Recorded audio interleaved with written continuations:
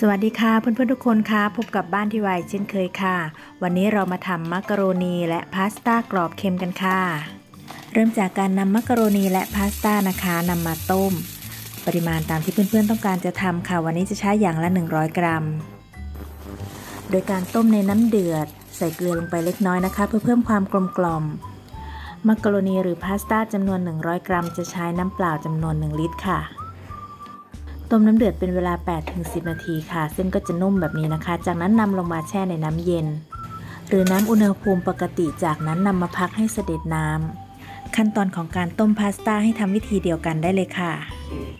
หลังจากที่พักจนเสด็จน้ำนะคะ เราสามารถนำไปทอดได้เลยค่ะ แต่วันนี้เราจะนำไปตากให้แห้งสนิทก่อนนะคะ เพื่อที่เราจะสามารถเก็บไว้ได้นาน ต้องการนำมาทอดเมื่อไหร่ก็สามารถนำมาใช้ได้เลยค่ะ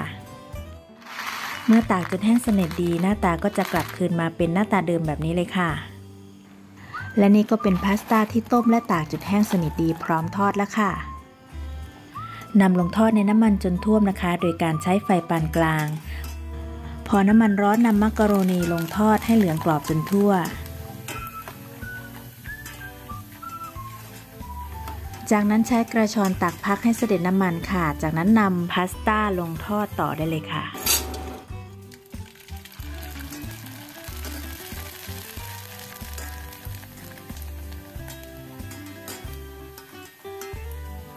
เมื่อทอดมักกะโรนีและพาสต้าจนเหลืองกรอบทั้งหมดแล้วนะคะ จากนั้นเรามาทำเป็นกรอบเค็มกันค่ะ โดยการตั้งกระทะไฟปานกลาง จากนั้นใส่น้ำมันพืช 1 ช้อนโต๊ะ พอน้ำมันร้อนผัดรากผักชีกระเทียมพริกไทยที่โขลกรวมกันนะคะ ผัดให้หอมเลยค่ะ จากนั้นให้ใส่เครื่องปรุงทุกอย่างรวมลงไป ก็จะมีน้ำตาลมะพร้าวจำนวน 100 กรัม น้ำตาลทรายจำนวน 50 กรัม เกลือ1ช้อนชา น้ำปลาหรือซีอิ๊วขาวก็ได้ค่ะจำนวน 1 ช้อนโต๊ะ จากนั้นเติมน้ำเปล่าเพื่อให้ส่วนผสมทุกอย่างละลายเข้ากันดี